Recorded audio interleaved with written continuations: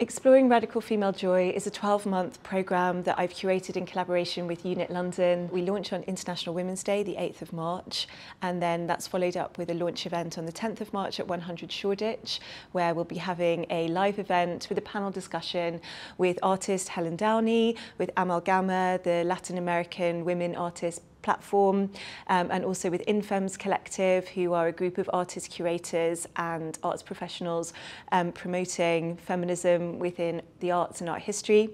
Over the course of 12 months, we'll be doing a series of in-person events, webinars, seminars, online reading groups, some performances and discussions. Um, within those, we'll be touching on a number of topics. So, for example, the idea of collective joy, um, the idea of joy of movement and choreographing joy, discussing the subject with artists, curators, writers, thinkers, philosophers, um, in order to really unpack this topic of radical joy and its political potential, both inside and outside of the arts sector.